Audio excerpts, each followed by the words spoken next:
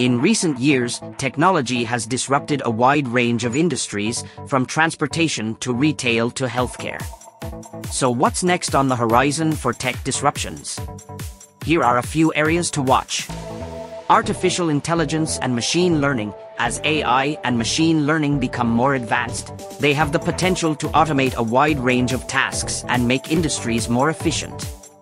For example, AI could potentially revolutionize industries such as finance, healthcare, and transportation by automating data analysis and decision-making.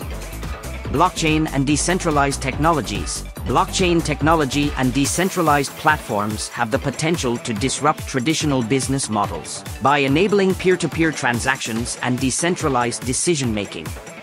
These technologies could potentially disrupt industries such as finance, supply chain management, and more.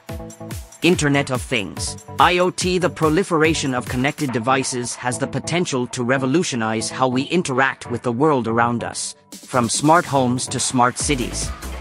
The IoT could potentially disrupt industries such as manufacturing, energy, and more by enabling greater efficiency and automation virtual and augmented reality, these technologies have the potential to change how we communicate and experience the world, potentially disrupting industries such as entertainment, education, and more. Quantum computing, as quantum computers become more powerful, they could potentially solve problems that are currently beyond the capabilities of classical computers, potentially disrupting industries such as finance, healthcare, and more.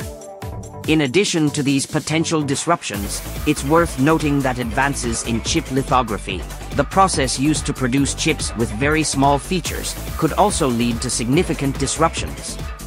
As chipmakers work to produce smaller and more efficient chips, it could enable the development of new types of devices and technologies that were previously not possible due to size or power constraints. However, there are also challenges associated with producing very small chips, including the difficulty of manufacturing them with sufficient precision and yield, as well as the potential for increased power consumption and heat generation at very small scales.